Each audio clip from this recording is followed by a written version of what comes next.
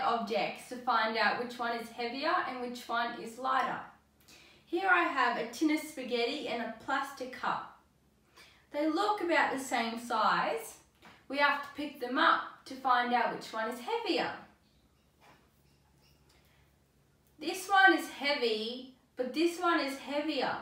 So the tin of spaghetti is heavier than the plastic cup. Let's try it with two more objects. This time we have a teddy and a balloon. Which one do you think will be heavier? Well, this one's light, but this one's lighter. Just because the balloon is bigger, it doesn't mean that it's going to be heavier than the teddy. Let's try some more. This time we have three items. A cereal box, a book, and a deck of playing cards. Which one do you think will be the lightest? Well, this one is light,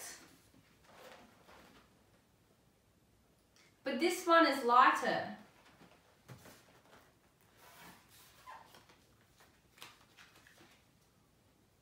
And this one is the lightest.